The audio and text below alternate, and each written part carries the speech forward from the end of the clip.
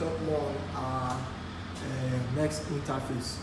Now let's talk about the NTP and DST. DSTP is uh, mostly concerning dates, start time, end time for date. You can set it to say, okay, from so time to so date. Let uh, our recording be within this limit. That's for DST uh, protocol or DST function. Now for NTP, that's a protocol, a network protocol, network time protocol. Each, it has its own port number. That will be uh, something for another day. The uh, network time protocol here makes use of uh, time.windows.com, their DNS uh, address, which means it connects to Windows. You people know, know of Windows already. It connects to Windows time, time, and once you activate it and there's internet access in your DVR, you don't need to go to your uh, NVR date and time to set time, even though you don't have a BIOS uh, battery on, uh, CMOS battery on your device. Whenever there's internet access and your device comes up, it automatically syncs with Windows time and brings up the correct date on your system based on your network time zone. Okay, I think we missed something. Uh, we didn't explain this first one. Okay, let me just talk briefly from this. Uh, this is system time. That's uh, like initial we saw this time and the date, which uh, which syncs very well with our own time. Then the time zone, the UTC plus one, uh, uh, West Central Africa is what we are going to be using. Then the date format, like I said, you can use uh, any format you want. It can be year, month, day or month, day, year, or day, month, and year. So just choose any format that suits you. Then this is just different symbols that you can use to separate uh, your dates. Okay, so it's date separator. Then the time format, you can choose 24 hours or you can allow it to run 12 hours. So we're going to be using 12 hours. Okay, next. Okay,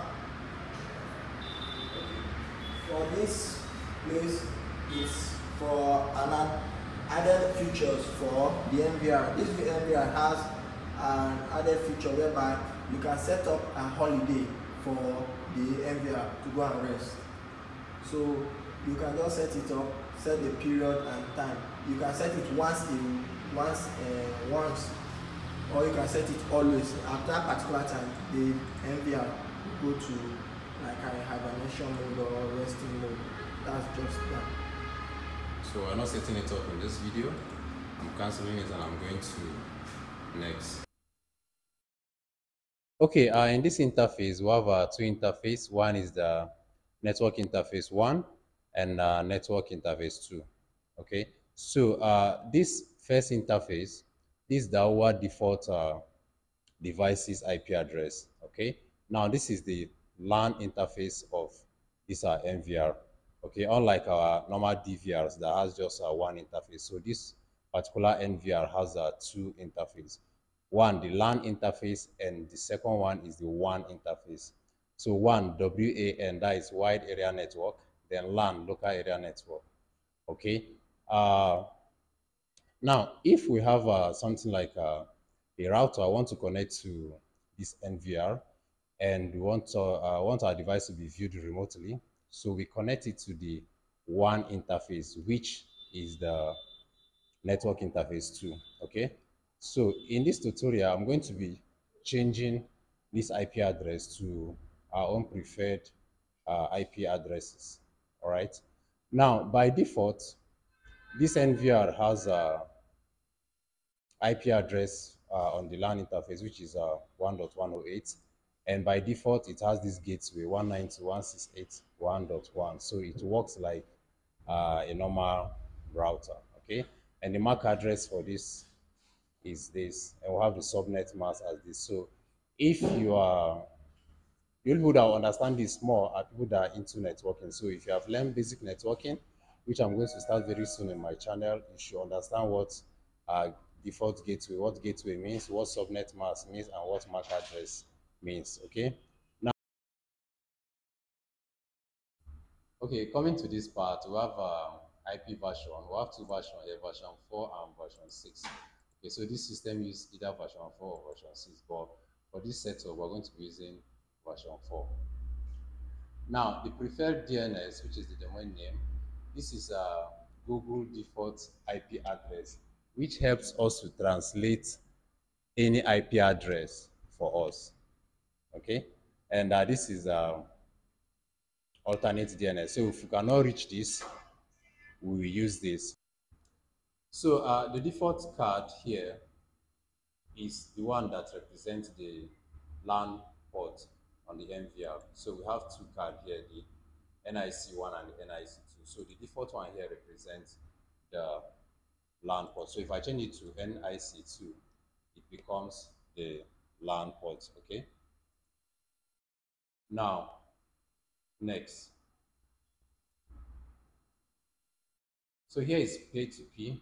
Now, this is where we do our remote view, mobile view setups, okay?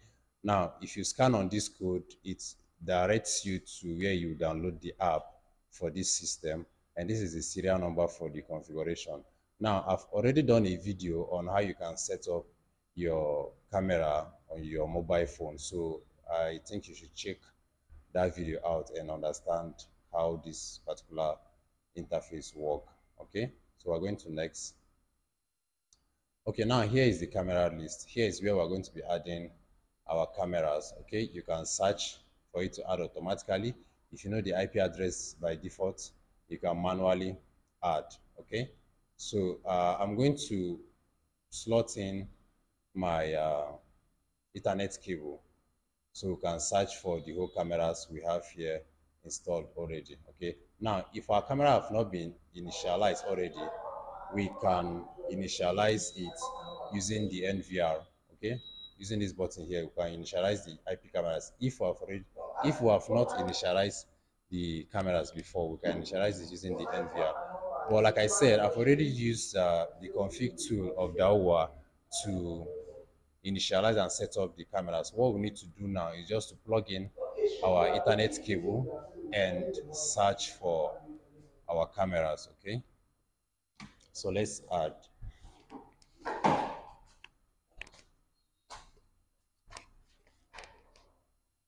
So this is my cable. I'm going to slot it to NIC1, which is the LAN port. Okay, so let's search for the camera.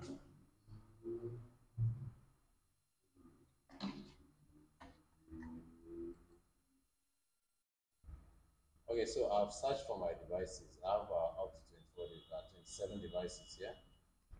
So I've searched for all of them and they are complete. So I'm going to select and add. So if you watch, my cameras are already displaying, okay? So once I'm done, once everything here turns green, I'll click on next. Okay, so this NVR has a provision for up to four hard disks, okay? So I have like uh, six terabytes here one two three four. So i have like four six terabytes on this nvr okay?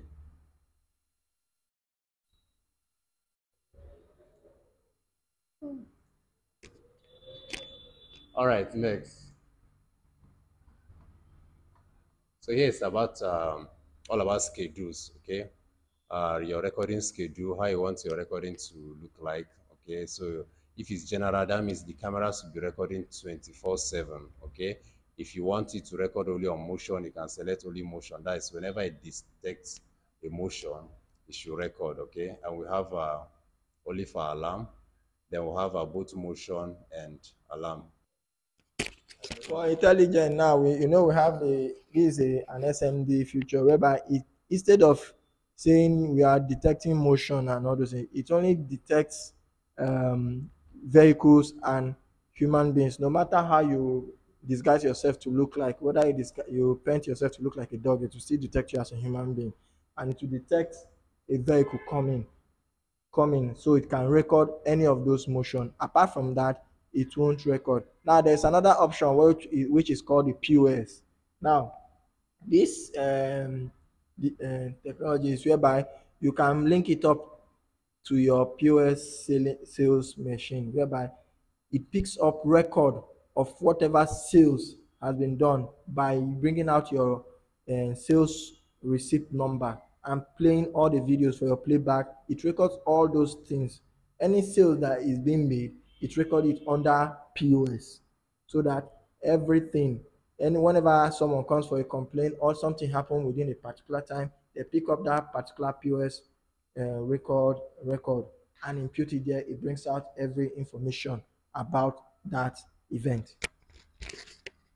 So I'm going to set this particular into general. I'm going to do a separate video on this particular scheduling. Okay, we're going to see how we can schedule a particular camera to do a particular thing. Okay, so I'm going to do a separate video on scheduling.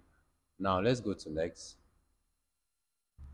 Okay, this was snapshots, pictures. So instead of uh, recording videos, it will be taking snapshot and be recording. I'll also do a video on this separately. So thank you for purchasing our product. That is uh, a, welcome greeting from uh, Dahua. So that's all about uh, the initial setup of an NVR, okay? So there are many features it has which we are going to be talking about, but not in this video, okay? The search, that's where uh, there's record, the pictures query, and uh, your playback. Uh, we have the AI features, we have uh, the alarm feature, we have uh, the POS function, and we have uh, maintain where you can, uh, you know, set your the machine to factory reset and other setups here we have our backups, videos, and pictures, and other setups. So we're going to be having different videos on the explanation of uh, most of this. Okay, here is a live